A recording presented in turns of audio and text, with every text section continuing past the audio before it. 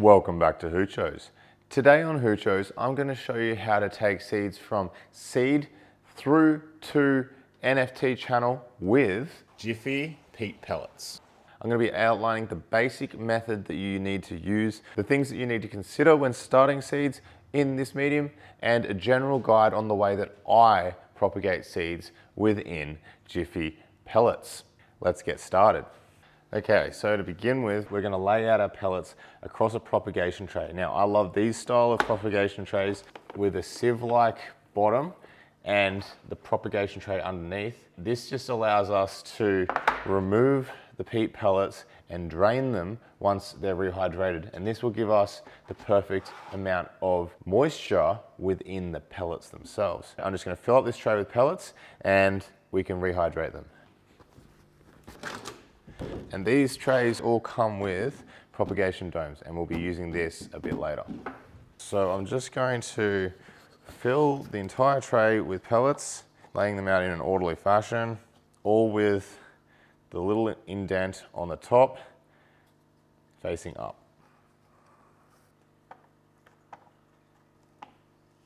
And that is what we have once we've laid it out. And they will tend to float. So we're just gonna fill it with water a little bit, let them soak it up, and then they'll sit heavy down on the bottom and we can fill it up with the water some more. Now I will point out at this point that these are the coco version of the Jiffy peat pellets. So coco peat and not peat moss. Uh, you can get peat moss and coco peat, but you just treat them the same. Uh, the coco is surrounded by paper, which does actually disintegrate a bit more than obviously the plastic that the peat is surrounded by. Um, so that is something you have to take into consideration with vertical hydroponic systems and things where, where the pellet has to actually hold together a little bit more versus say your NFT where the water is very softly uh, moving past the pellets. So we're gonna fill it up a little bit, let them soak it up, and then fill it up over the top of the pellets until they've reached full size, at which point we can drain out the excess water. And you just wanna go over the top of them because the top seems to be as far as I can tell, the most absorbent part of the pellets. So you just want to make sure that that's soaking through and then capillary action will do the rest for us. And I'm just going to fill it up to the point where they're just starting to float. Like that. And we'll let them soak it up and we'll continue filling it once they've soaked it up. So I'm just topping this up because we got our peat pellets to about that size and they've got a little ways to go.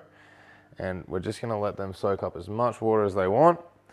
And while they're soaking up the water, we can get our seeds. And now that they've been sitting in the water for a little bit and they've not soaked up anymore, I'm fully satisfied that they're completely rehydrated. We can take out the sieve part of the tray, put that aside, and get rid of the excess water.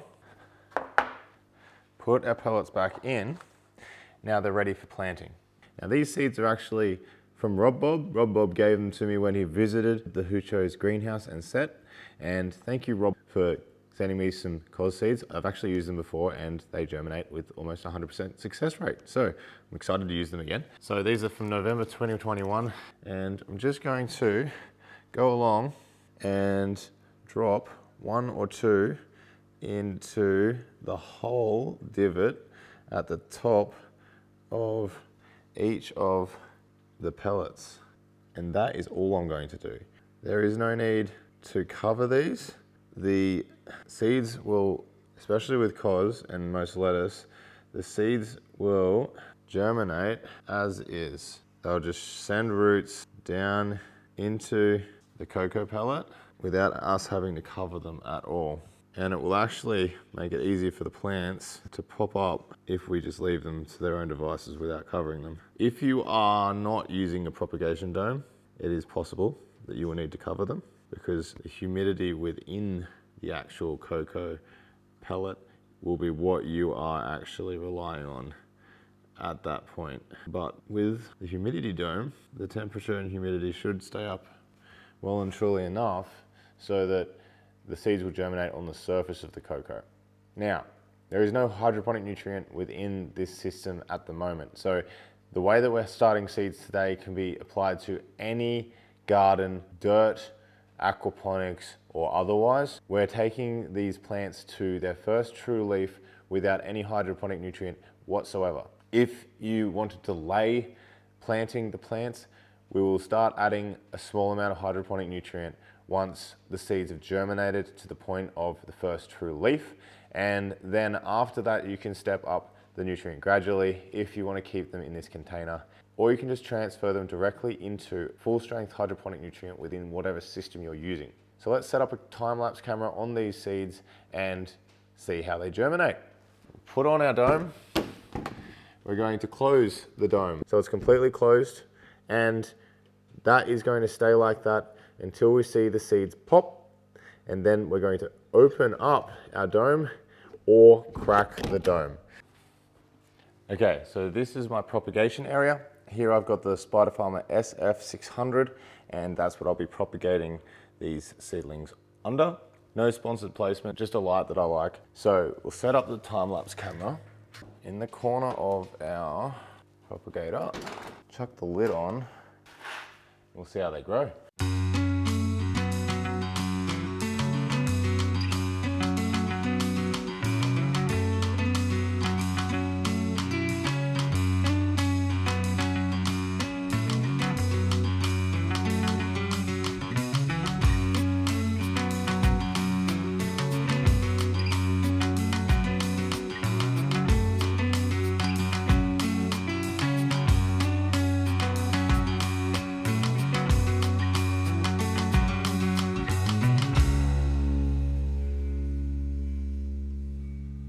And you have a look at that result? Oh, I'm stoked with how this turned out. As you can see in the time-lapse video, I added in a thermometer at the start. And I actually found that the temperature that I've got in my studio isn't quite what I had in my other propagation area. So what I did was I added in a heat mat. Now, you don't have to use a heat mat. You can find a warm place within your house that you can propagate these seedlings like this in. There are many options on top of your water heater, on top of your fridge, any heat source within your house. Just make sure it's not too hot, obviously, and that will give you a good germination environment. Now, this isn't a problem for me most of the year. It's just that we're right in the middle of winter and my studio is insulated. However, it's not an area that I use to live in, so I don't keep it within a certain temperature range. In the video, you can actually see the fluctuation of the temperature over the night-day cycle within the grow environment. Now, if you're really smart, you can mitigate the day-night cycle of cold and hot by reversing the day-night cycle of your light within an enclosed area. And the heat from the light will give you a balance between the cold of the night if you have the light on during the night and the warm of the day if you have the light off during the day. So you can regulate your environment with your grow light within a small space. Now, as you can see within the time-lapse video, as the day-night cycle happens, the temperature fluctuates between about 15 and 25 degrees, and that's the temperature range you're gonna wanna stay within for seedlings such as this. Now, I have not used any hydroponic nutrient at all with this grow.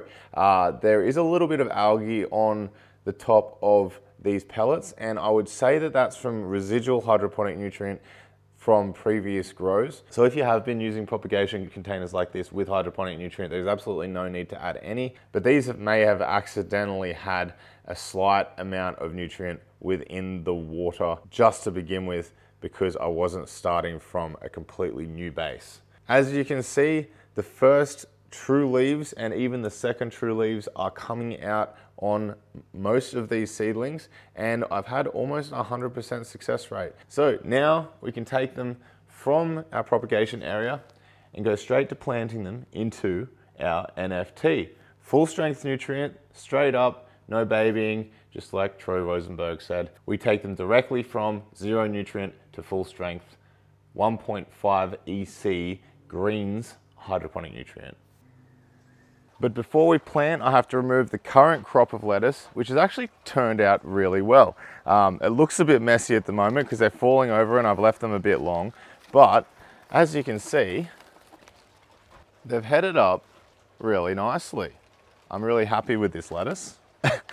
so I'm gonna collect it up, give it away, and we can refill our system.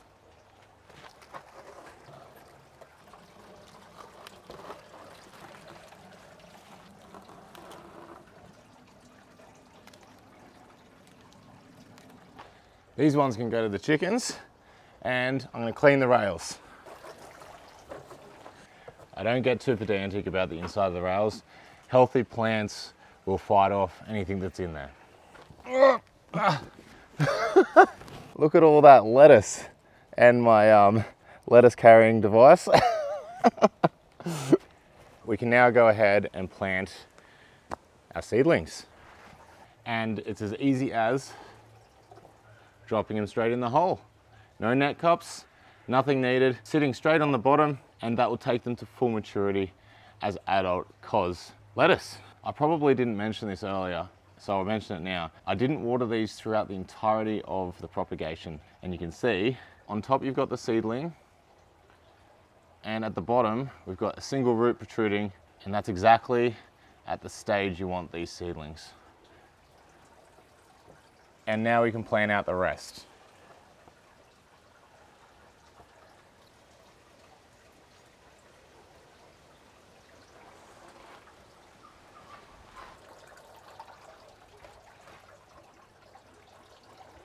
And there we have it. All of our seedlings are in our NFT channels and we don't have to do anything to get them to full maturity. They'll take care of themselves. Now my nutrient is between 1.3 and 1.5 EC and it's between 5.5 and 6.5 pH. So I'd set up a time-lapse camera at the beginning of the last grow and we can watch to full maturity cos seedlings in the exact same method as this. Thank you for watching this episode of Hoochos. Happy hydroponicking and I'll see you next time.